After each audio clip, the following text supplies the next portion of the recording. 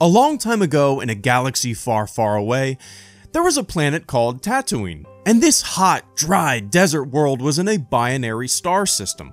The scene of Luke Skywalker walking up to a sandy mound and gazing out at the twin suns is without a doubt my favorite image from the entire Star Wars saga. A young man looking out at two suns, two paths, two choices that will affect the story that is the rest of his life. Added with the jaw dropping score by John Williams, this scene for me encapsulates the very spirit of Star Wars. Now, the binary star system that Luke was looking at is not at all far fetched.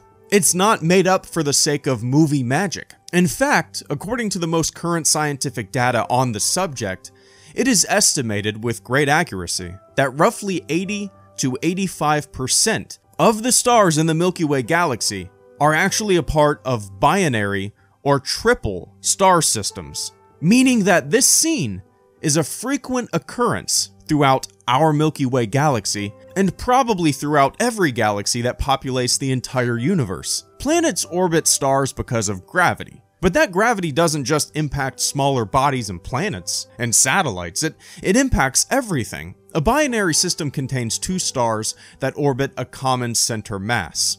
They are gravitationally bound. The distance between these binary stars can be vastly different from case to case. Sometimes stars are so close that the only way to identify that the point of light that you're looking at is actually two separate stars is to measure their combined spectrum. These binary star systems are called spectroscopic binaries. The stars travel around their orbits, and as one of the stars travels towards Earth, towards us, the other travels away. The dark line in the star spectra are red shifted as they move towards us, and blue shifted as they move away. Sometimes one of the stars in the binary system orbits its companion star. This is probably what most of us think of when we visualize an orbit. You have the star in the middle, and its companion binary orbiting around it like this. When the orbiting star passes between the star it orbits and Earth, the center star in the middle,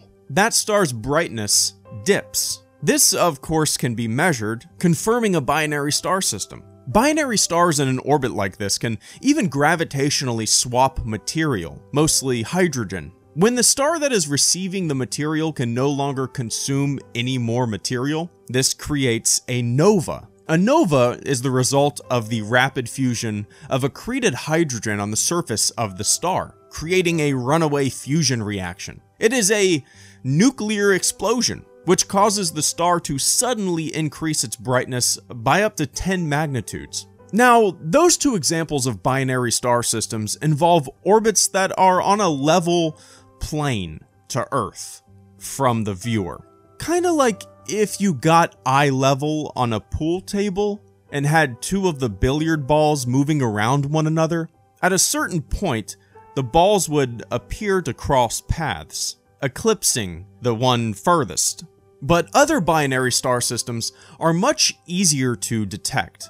They might not be in that level plane orbit from Earth from the viewer. Picture that same pool table analogy I just mentioned. But instead of your eye being level with the surface, you're now looking at the billiard balls from a top-down view. You could easily detect that these two billiard balls are moving around one another, that they're gravitationally in lockstep. And if these two stars are further apart from one another, it makes it even more obvious and easier to measure. You might look through a high-powered telescope at two separate stars in the night sky. To discover if they're a binary star system sharing an orbit, you can actually measure their movement over many years, and have an exact calculation of their orbit.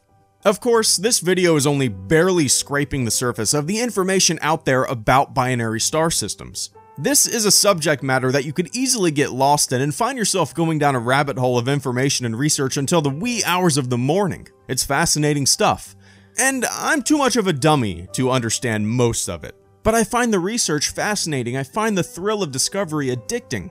After all, the universe is big, so big that when you try to contemplate it and contemplate your existence, your brain starts to hurt. But that contemplation is a drug.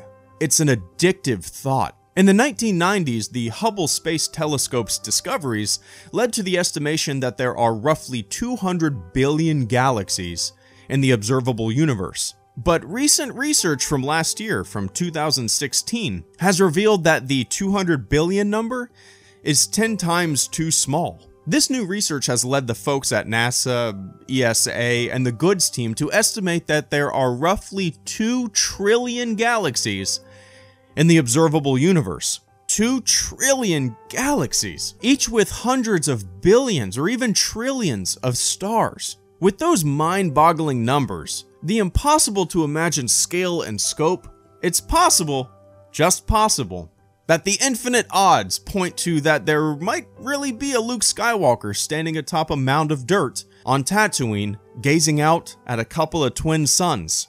Hello, Greedo, out.